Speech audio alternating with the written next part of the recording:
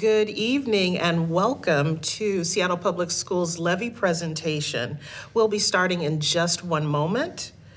We would also like to take the time to make sure that anyone who needs interpretation services finds their way this evening successfully.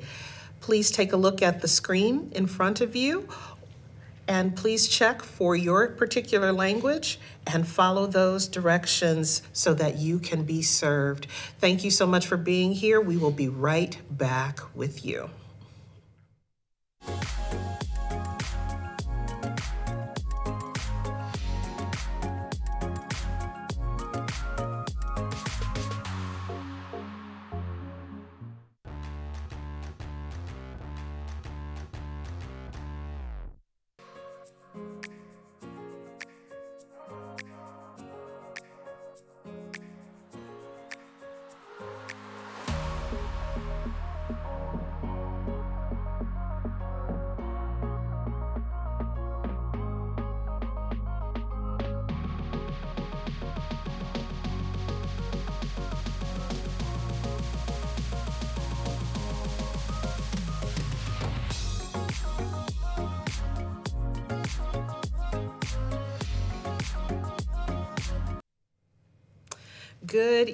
Everyone. My name is Bev Redmond. I am Chief of Staff for Seattle Public Schools. Thank you for being here and thank you for taking the time to join us and your continued interest in our schools and the future of our students. We truly appreciate your willingness to engage in this important conversation this evening. Before we begin, want to take just a moment to do a little more wayfinding for our families who may need interpretation services. On the slide before you, you do have some directions, some instructions that will help you reach our interpretation rooms. We do have the services in our top languages this evening. So again, for our families who may need language interpretation services, we want to give you just a second to take a look at the slide and help you find your way to our interpreters. As we begin, would like to start the evening with a land acknowledgement. We would like to acknowledge that we are on the ancestral lands and the traditional territories of the Puget Sound Coast Salish people.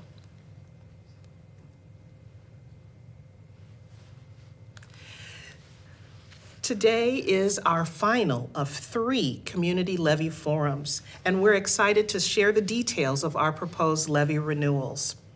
We, we will be recording this particular presentation, and it will be translated and available online. Tonight, we will also give you some details regarding our budget and then walk you through the specifics of our levy renewals. There are two. Educational Programs and Operations Levy, or EP&O, or our second, Building Excellence BEX 6 Levy Capital Program. If these levies are approved by the board on November 19th, they will appear on the February 11th, 2025 ballot. At the end of this presentation, we will have an opportunity for you to ask your questions there is a Q&A function in the Teams area that you can use to submit those questions as we go along. I know that there are many, many of our family members who are impacted by the news of our preliminary recommendation regarding school closure and consolidation. You may have a question about that this evening. And as it relates to our overall budget, we will be able to answer that for you. So thank you for your interest. Let's talk about our levies. Levies are local property taxes that are approved by, the, by our voters to fund public schools. If these levies are approved, all of the funding support supports our students and remains here in Seattle Public Schools. These levies are not new taxes, but they are renewals of expiring levies. As an overview, let's go through our levies. Educational programs and operations, EP&O levy renewal. It's the levy renewal that helps us with covering our essential day-to-day expenses and our operations that the state doesn't fully fund, such as staffing, special education, student programs like athletics, drama, and art. The capital levy is our main source of funding for school safety improvements, technology, and critical building repairs, renovations, and new construction. Both levies will go to the school board for approval on November 19th, and if passed, will again appear on the February 11th, 2025 ballot. A reminder that as we go on in our presentation that there are interpretation services available so that you can connect to the presentation in your chosen and spoken language. And now I'd like to introduce Dr. Kurt Buttleman, our CFO, to explain more about our current budget climate. Kurt? Thank you, Bev. nice to see you again for the third of the series. Just like we never left. Exactly. yeah. Change clothes. And Richard and I got haircuts, yes. I think. Yeah. very smooth, very smooth. Yes. Um, so before we get into the specifics on these two levies we're discussing tonight, we wanted to provide a little more context on the current budget situation of Seattle Public Schools. I know there's a lot of interest in that, so we wanted to provide that context this evening. K-12 funding in Seattle. As you may be aware, some of you may be aware, school districts are funded through a combination of state, local, and federal dollars. And Seattle Public Schools has budget has a budget of about 1.23 billion dollars for this current school year. Of that 1.23 billion dollars, 15.6 percent, or 191 million dollars, comes from the levy we're discussing tonight, the EP&O levy. As Bev stated, this is a renewal that is being discussed to potentially be voted on in February of the current levy. And of that, of the current levy is funding $191 million of the Seattle Public Schools um, needs today. The intent of this levy funding is continue funding for these enrichment activities while the state funds basic education. Seattle Public Schools is currently projecting a budget deficit of about $94 million for the 25-26 school year, and this situation is not just specific to Seattle Public Schools, but many other districts across the state are struggling with these same financial issues. It's a structural issue in that the needs of Seattle Public Schools students and families are exceeding the funding provided by the state. As many of us are aware, the cost of living and doing business in Seattle continues to rise, as well as the needs of our community continue to grow. Security, special education services, multi-language services, Substitute teacher costs are just examples of where the state funding does not cover the needs of Seattle Public Schools and where the levy provides a supplemental funding source. Over the last few years, Seattle Public Schools has begun addressing the structural deficit, and we continue to work with the state legislature and other colleagues to work to bring more stability into the state's K-12 system. Listed on this slide are a few examples of things Seattle Public Schools has done in recent years to help with this structural issue. You'll see that school consolidations is just one of the many strategies the district is employing to reduce costs. In addition to considering school consolidations, the district has reduced its contingency reserves to cover current costs. It's implemented salary cuts for non-represented staff, reductions in central office staff and other expenses. It's reduced school staffing and discretionary all allocations to schools, and has even implemented a voluntary athletic fee for families this school year. For folks who are interested in doing a deep dive into this financial information, Seattle Public Schools has a budget book, 205 pages of it, that can be found on seattleschools.org on the website by entering budget book into the search box.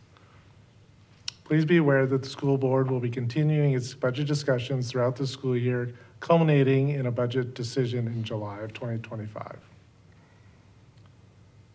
We'll now transition to the main objective for tonight, which is to provide information on the levies. The first of those levies is the EP&O levy that Bev described earlier. The EP&O levy, or, or operations levy, is enrichment funding that helps continue funding for day-to-day educational programs and services that are not fully funded by the state. This is the $191 million that I mentioned earlier. Here are a few of the examples of programs and services that are currently funded by the levy. Student safety and support, student services and programs, and student opportunities. On a personal note, I'm a parent of two kids who are graduates of Seattle Public Schools, so I can speak personally to how much these value these programs and services provided to my family and the community that we live in.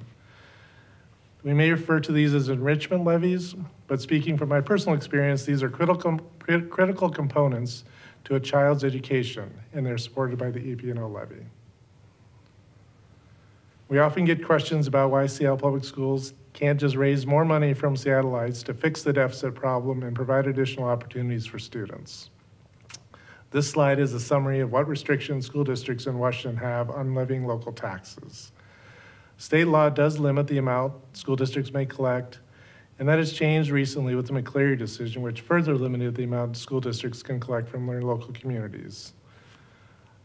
Although districts are limited in what they can collect from taxpayers by state law, Seattle Public Schools and other districts do ask voters for an additional amount of capacity if these limits are changed by the state in the future. The information we are presenting tonight does build in some capacity should those laws be changed over the course of the next three years. A little bit of detail on some of the items we've mentioned, first of which is security staff. The state currently funds in its allocation model. Some of you may know this as the prototypical model, funding for Seattle Public Schools to have 9.3 full-time equivalent school, school safety specialists. Due to the needs of our communities, Seattle Public Schools has 73 of these positions. The difference of that, 63.7, is funded by this operational levy. Without the levy, Seattle Public Schools would need to reduce services or reduce costs in other parts of the district to fund this important need in our community. Another example is special education. The state's funding allocation model only provides about $150 million on an average year for special education services for Seattle Public Schools. The district is mandated to provide these services, and so that gap of approximately $74 million is funded by this operational levy. Another example is athletics. The state provides zero funding for middle and high school athletics to school districts. So this levy funds fully the $5.5 million in coaches, field rentals, equipment, and transportation to ensure students have access to after-school sports.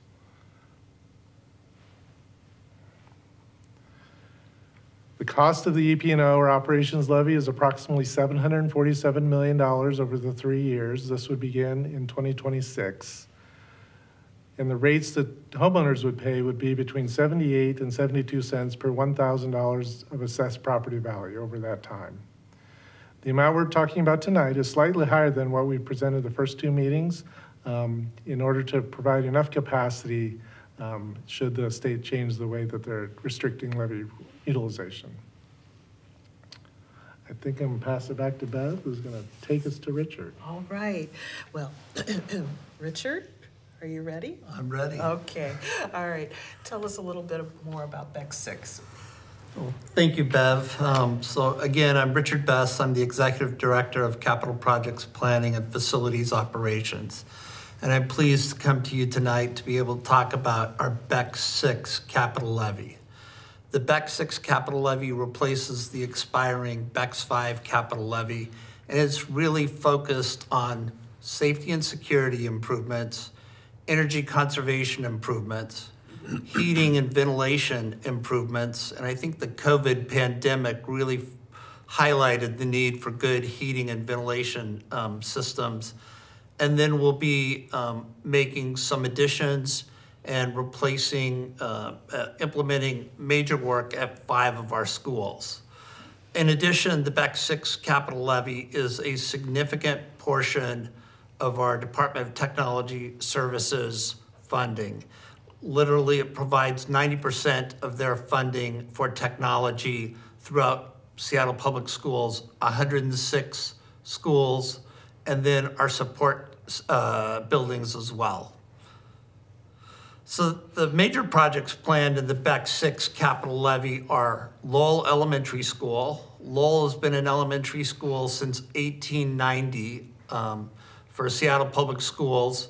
Uh, The, the most current portion of that building was built uh, in the 1950s, and there's a portion um, done by, designed by one of the three iconic architects in the city, uh, in Seattle Public Schools that remains from 1919. That portion we anticipate, uh, of the building, we anticipate will be landmarked. We'll be replacing the additions that were added on to Lowell, and so that's why you see that um, noted as a addition and renovation of a historic building. Uh, In addition, we'll be looking at a Northeast Elementary School. As many of you know, Sacagawea, the design costs for Sacagawea were included in the BEX 5 capital levy. Um, $4 million was included in BEX 5. That money has remained fenced um, for that purpose. Uh, Seattle Public Schools spent approximately $380,000 of that money in initial um, survey work, uh, design, conceptual planning for Sacagawea. And then the district began a well-resourced school conversation. We suspended that, uh, but we do have several aging facilities in the northeast region of, uh, of Seattle. And so we are waiting till that conversation concludes before uh, we make a recommendation to our school board as to which elementary school to replace in the northeast region. In addition, similar to Sacagawea, Aki Kurose Middle School was also um, partially funded in the BEX 5 capital levy. $10 million were identified for design. That money has remained fenced for that purpose. We've begun the design process. And the BEX 6 capital levy will actually fund construction of a um, addition and then the renovation of the existing building at Aki Kurose. And then two other projects planned. One is an addition at Chief Sealth International High School. It's focused on enhancing the career and technical education um, program classrooms, and then also eliminating eight portables on the west portion of that site for general education classrooms. So we'll have a a 10 classroom addition working with uh, CTE, and then um, eight um, general ed classrooms and then lastly, John Marshall um, School is an interim site. Uh, This is uh, also an older facility at Seattle Public Schools. And so we're looking at enhancing the structural system, the HVAC system, the electrical systems in this building to meet the current educational program. Um, City of Seattle is uh, updating their um, unreinforced masonry um, and so this is commonly referred to as URM. They're looking at legislation going to city council in 2025. And so these improvements at the John Marshall School will um, meet the new code requirements that we anticipate will be passed. A big portion of the BEX 6 capital levy is safety and security. And uh, with safety and security, you can see the first seven items on this slide um, really address those items uh, that we'll be implementing. We have uh, made um, secure entry vestibules really part of our work in capital projects since the BEX 4 capital levy. Um, What is a secure entry vestibule? It's a a vestibule that will allow you to come in from the outside but force you to go into the office before you get access to the school. The doors to the school will be locked as you come into the vestibule. You'll be forced to go into the office. You check in into the office, and then you get access to the school. In addition, we'll be um, analyzing our site security fencing and our building fencing to make sure that it's appropriate, that it it provides a secure environment for our, our students and staff. We have major uh, projects planned for both intercom system, district-wide. We'll be making improvements to our intercom system, and then district-wide, we'll be making security improvements. And those security improvements include the installation of security cameras, upgrading of our AI phones, door and window intrusion alarms, and those projects will be implemented on a district-wide basis. And then we're also looking at a visitor management system. Um, Similar to um, home projects, you know, we will have uh, the door and- window intrusion alarms as part of those security system improvements. So um, other safety measures uh, proposed in the BEX 6 capital levy include fire alarm system upgrades, seismic improvements. Again, as I noted, uh, City of Seattle will be passing a URM ordinance in 2025. We want to be positioned so that we can comply in all of our URM buildings. Again, Seattle Public Schools has 106 schools. Um, In excess of 20 are URM constructed. Um, We've been making improvements at uh, most of our URM buildings, but we still have a couple left to implement. And then defibrillator emplacements will be replacing defibrillators district-wide as well.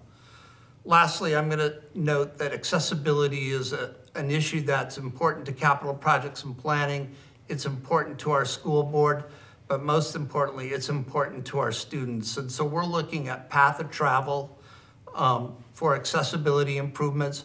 We're looking at implementing elevator repairs as part of our BEX 6 capital levy. Similar to your homes, with 106 schools, we also have to look at roof replacements, window repairs, wall repairs. Um, Generally, roofs have to be replaced on a 30-year basis, and you know that from the work that, that you have to do to keep, keep up your home. We implement those types of repairs here at Seattle Public Schools. Uh, Heating, ventilation, and air conditioning, as I noted earlier, really was highlighted, the importance of those systems um, during the COVID pandemic. And so we're looking at making repairs to our heating, ventilation, and air conditioning systems. Also be implementing um, boiler upgrades at several of our schools as well. We're looking at creating single occupant uh, student restrooms at our secondary schools. We know this is a- as a, as a measure that will help reduce some of our um, safety incidents on our campus. Um, With great visibility to these areas, they can be passively supervised and hopefully reduce uh, tensions within a building. And then, as noted on the first slide, we have energy um, upgrades that we'll be making. Um, The state of Washington has passed a clean uh, buildings performance standard, which has set thresholds for an energy use index, or more commonly referred to as an EUI, for compliance for all public buildings within the state of Washington. Um, Failure to comply will actually have a financial penalty, which will hit our general fund and further exacerbate our budget issues. So we need to begin on making energy improvements to position Seattle Public Schools for full compliance at all 106 schools. We will not be able to accomplish that effort with the BEX 6 capital levy, but the BEX 6 capital, capital levy is the pathway to begin this journey of getting all schools positioned so that we meet state of Washington EUI requirements. And then playground safety and site improvements. This is something we started about five years ago. We have um, 65 elementary schools, 10 K-8 schools. Those elementary and K-8 schools have either two or three play, uh, playground areas. and we monitor those and have a replacement schedule for once every 15 years, those are being replaced. Uh, We've been engaged in this process for several years. Um, This, this past year, we implemented um, playground safety improvements at Highland Park, um, Rising Star, and Maple Elementary Schools. And then lastly, we have pro- uh, projects proposed at our central kitchen um, to complete the renovation of our central kitchen. That school, that uh, building um, serves uh, 65,000, or um, 65,000 meals um, uh, out of that building. Uh, Richard, before you go on, I want to just break in for a little bit of clarity. You used the acronym URM a couple of slides back. What would that mean? URM refers to unreinforced masonry. And it's a term that's uh, used in, uh, by architects and engineers to talk about a structural system. And it's, uh, URM is, refers to unreinforced masonry. Thank you so much. Appreciate Thanks, that. Bev.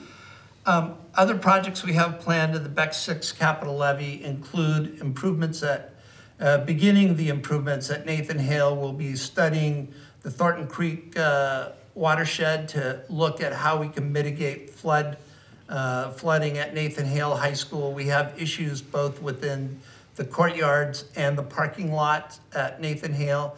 And then we'll be implementing the interior build-out of our Rainier Beach High School uh, Performing Arts Center, the new Rainier Beach High School Performing Arts Center. Um, Lastly, we'd be making some uh, equipment uh, purchases for our maintenance, um, grounds, and custodial services. And then also, this levy will cover um, uh, building modifications for academic needs, athletic field improvements, and you can see the full list of projects on the district's uh, website. So how were our projects selected? We'll use an independent um, third-party consultant to do a facilities condition assessment, and they go out to each of our 106 schools on a six-year basis, and they look at the building systems that are um, uh, they, they look at the existing condition of our building systems at our schools. They rate those systems, then they bring that information back, and we literally pour through that information to look at what are the conditions of our roofs? What are the conditions of our boilers? What are the conditions of our electrical service? And making sure that we are replacing equipment before it's, before it's reached its point of failure. And so this is how we begin to look at a project list. We also look to the school board's, uh, uh, school board policy and to their guiding principles as to which um, project should be proposed. Equity is a significant um, uh, lens in which we apply to the, the list of projects that we move to the school board for approval. We have a public oversight committee that oversees the work of capital projects and planning. We review that list with them. And similarly, our Department of Technology Services has a public oversight committee as well, known as the Information Technology Advisory Committee, that oversees their work and what they're proposing in the, in the BEX levies as well. And then we made, uh, made a recommendation to the school board on October 9th. So with that, I'm going to turn it over to my colleague, uh, Car- Carlos Del Valle, to talk about the BEX 6 um, technology funding.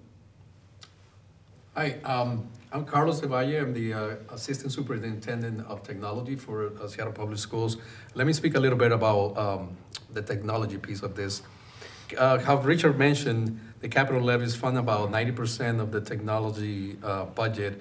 Um, this translates about 127 FTEs in our, um, uh, in our department uh, that supports all the technology across all 106 schools and um, the central office.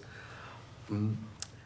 The, uh, it also covers for students and uh, staff uh, computer devices uh, for the classroom uh, technology, for software and hardware that we utilize, uh, the development and implementation of uh, digital curriculum, Uh, We're getting very heavy in that area now. Uh, Upgrades to digital systems, uh, cybersecurity systems, monitoring systems, cameras at the schools, uh, and equitable access to um, inclusive digital resources such as language uh, support systems uh, or online libraries.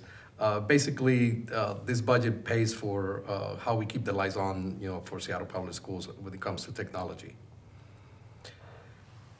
After um, an analysis that we did internally and with the help of of the ITech uh, committee, uh, we came out to an ask of four hundred and fifty million dollars over um, a period of three year. Um, We, we are asking this uh, to fund three major areas of investments, the student learning and support, the infrastructure and security, and district systems and data. Let me go a little bit into what this means. Um, the student learning and support, uh, this portion of the levy covers for the technical support staff to provide for repairs and logistics of equipment at schools. Also, these funds provide for digital learning support, uh, purchasing of instructional software and licenses, uh, procurement of student laptops, and, and the associated staff that, that oversees all these systems. Um, Now, in the infrastructure and security, these portions of the levy uh, provides for operating costs of running the data center uh, and the backbone infrastructure. It provides for cybersecurity monitoring systems, uh, serv- server software licenses, operations and equipment, uh, hardware maintenance. Uh, We pay the internet connectivity out of here, uh, and also the telephone service, and also all the associated staff that supports all these areas. Uh, And finally, the district systems and data, uh, these portions of the levy covers for software systems, developers and analysts, uh, and the feeding care of our business financial systems such as the uh, ERP, SAP, HR systems, our learning management systems, uh, Schoology, CSOC, um, and the student information systems, uh, the Atlas database, uh, Microsoft Teams for the education, Power Schools. It includes hardware and software uh, applications licenses, consultants that we utilize for skills that, that we don't have in-house, and um, all the associated stuff that, that supports all these areas. So overall, the capital levy, uh, the ask is at one point eight billion, um, over six years. Uh, and this, uh, rate ranges from between ninety-three to seventy-nine cents, uh, per thousand, uh, of assessed property value over, uh, six years. With that, I'm gonna pass it to, Dr. Buttleman, for the rate comparison. All right, thank you, Carlos. We wanted to provide a little information to folks on how Seattle schools levy rates compare with the peers in the, the neighboring districts. As you can see in the slide, Seattle taxpayers pay about a dollar eighty-five per thousand dollars of assessed value currently, and this includes the BEX five, the precursor levy to BEX six, the current EP&O levy, and then a BTA levy, which funds some other technology and um, capital resources at Seattle Public Schools. So you'll see on this slide that Seattle Public Schools levy rates are low by comparison in the region primarily because of the high uh, property values of commercial real estate in this, in this city. I think we're near the end of our final, our formal presentation. Yes. That's going to take us home. Well, we can't go until we answer some questions. So, uh, are you all ready? We'll Ready. Dive into some community questions. The first question comes for, I believe, Kurt and Richard, so it'll be a shared effort. How does this levy help keep our students safe in school? What do the funds go for in terms of security staff and actual changes to buildings? Kurt, would you like to start? The Okay. security staff, are- the large majority of the security personnel that are in buildings are funded by this levy. That, that difference of 63 um, security personnel staff are funded by the EP&O levy. So without this levy, the district would have to minimize the staff of that type in the buildings or do other reductions in other places throughout the district. Um, Bev, I think we talked at a previous meeting about your father was a security specialist in Chicago. I'm shouting out my Important dad, res- yes. Important role for um, keeping not only the building safe, but keeping kids on track, so. For sure. Uh, Big, big role for our students, helps with relationships as well as surveying the campus and, and keeping an out, eye out in the community.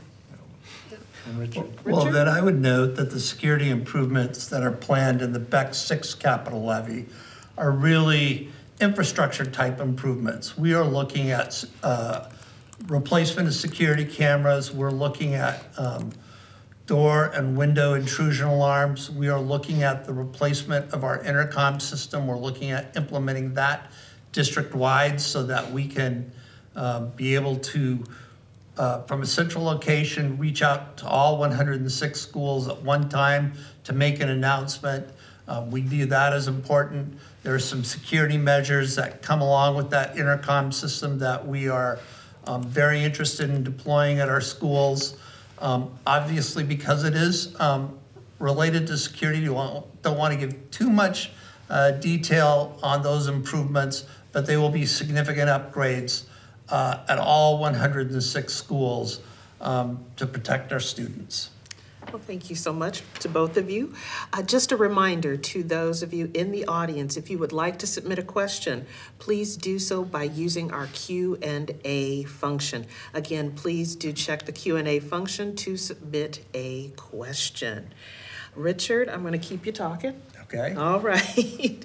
Uh, If schools are slated for closure, and, and they're included in the current levy proposal, how will funds be reallocated to projects at other schools?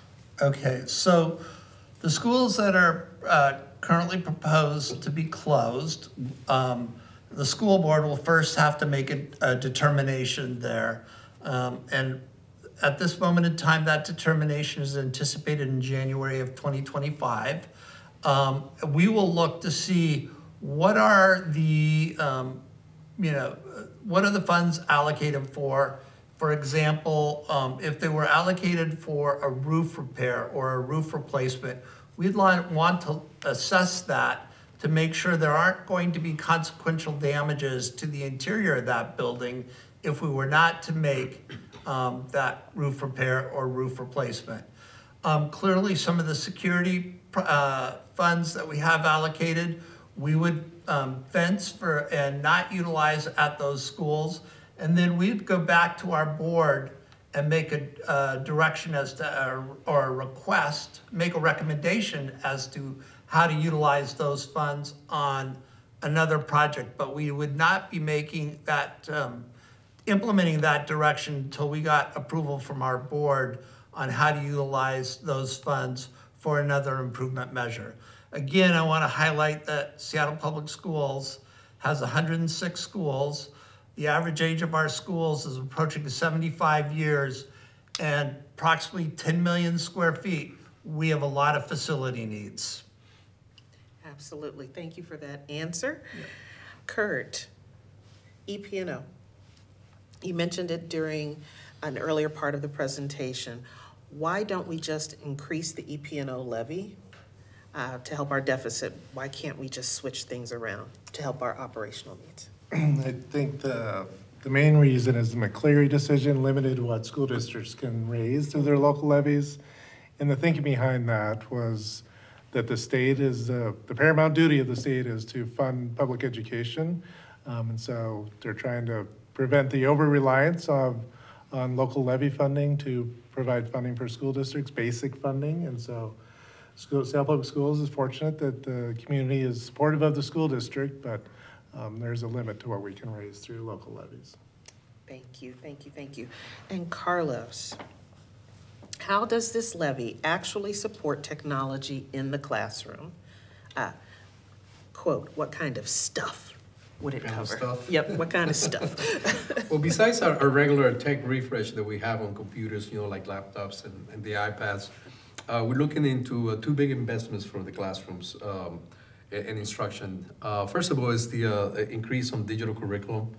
Uh, there's going to be very. Uh, we did a, a pilot on this past levy.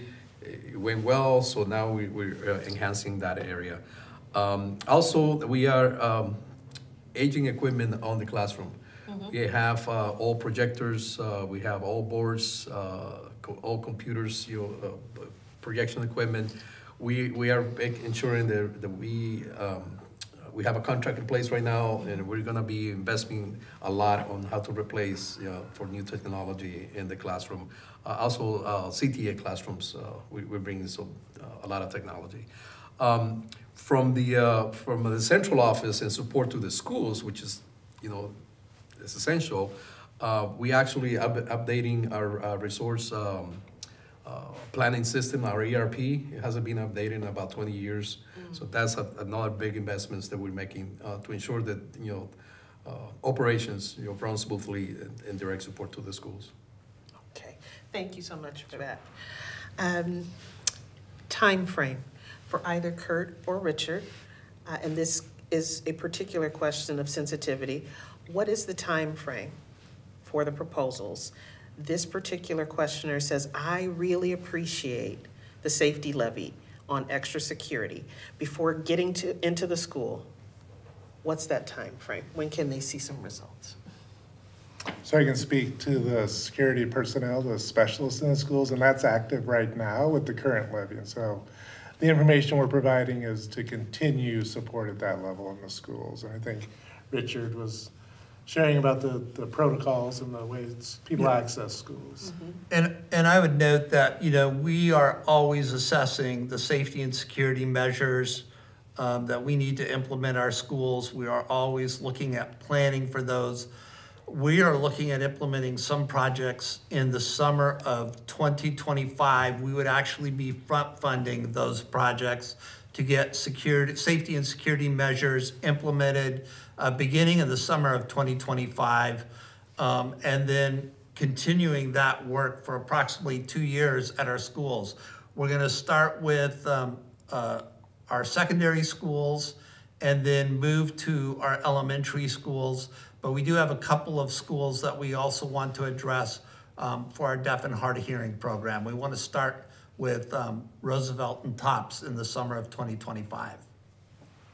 Thank you. Uh, Richard, going to keep you talking again.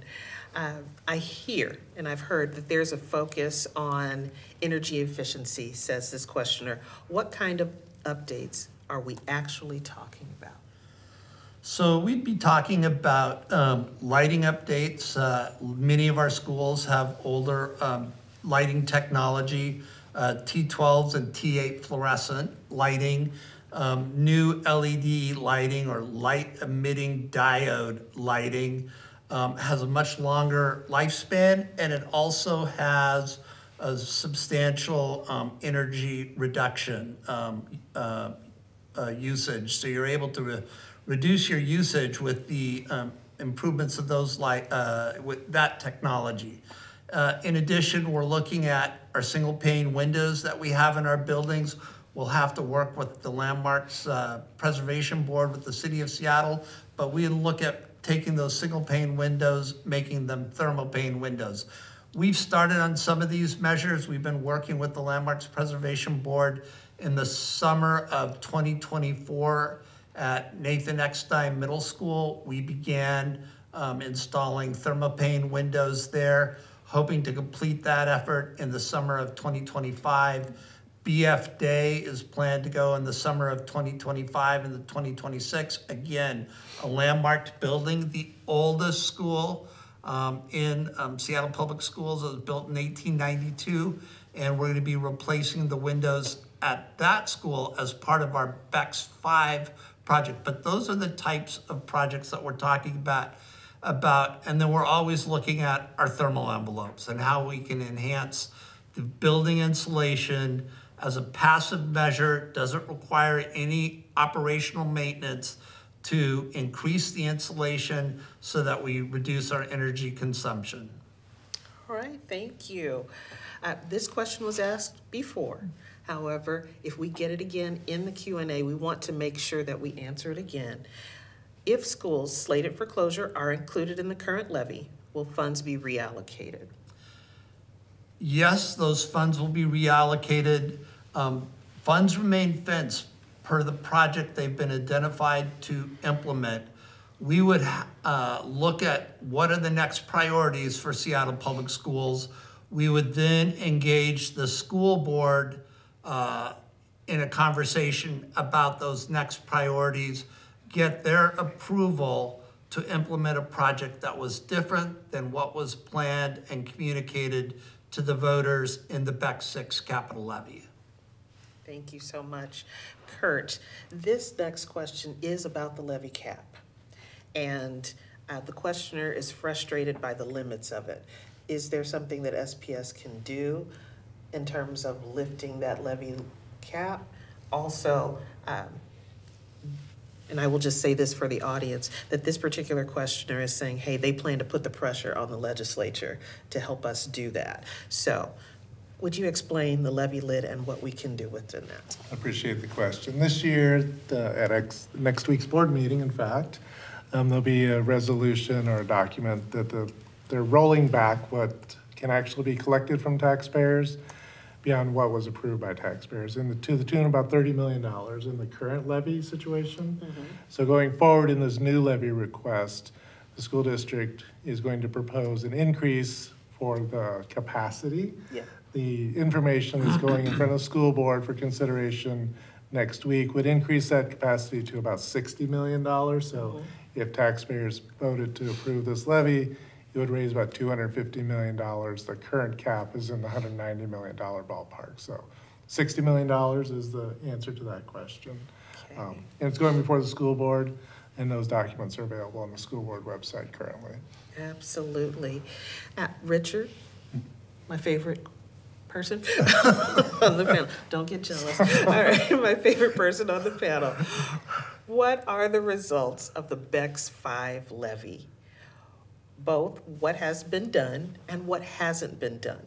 And are there uh, any projects that weren't finished? So it's a, a three-parter. So I'm going to start with the major projects, and then we're going to conclude with the smaller projects. Um, The major projects, uh, we have all of the major projects that were proposed uh, as part of the BEX 5 levy have either been implemented, are currently being constructed, or are in design with one exception, and that would be Sacagawea Elementary School. Um, we had monies allocated for design for Sacagawea Elementary School, not uh, construction. We were looking for construction to occur in the BEX six capital levy. And again, we have one of the measures being proposed in the BEX six capital levy is an elementary school in the northeast uh, region. But we're waiting for the well-resourced school conversation to conclude. And then um, uh, would be moving forward with an elementary school or Sacagawea. But on the BEX 5 projects, uh, we have um, implemented um, all, you know, West Woodland Elementary School, a classroom addition at West Woodland in 2021 um, was completed. And then in 2022, we implemented additions at James Madison Middle School, an eight classroom addition, a four classroom addition at Leschi Elementary School.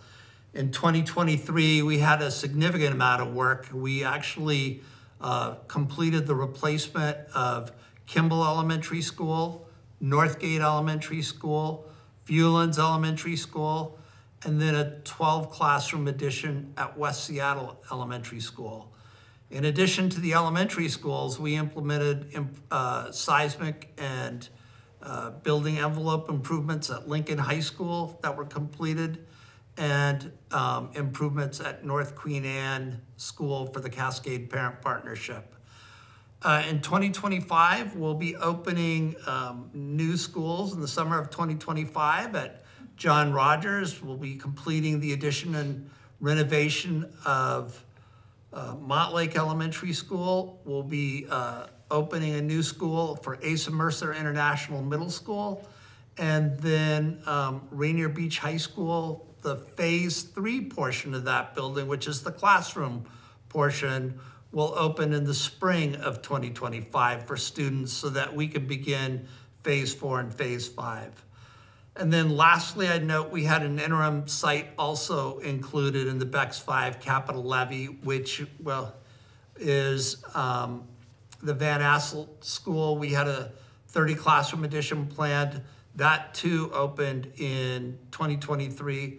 And then a project that will continue until 2026 uh, is the Alki Elementary School um, construction project. And those were the major projects in BEX Five.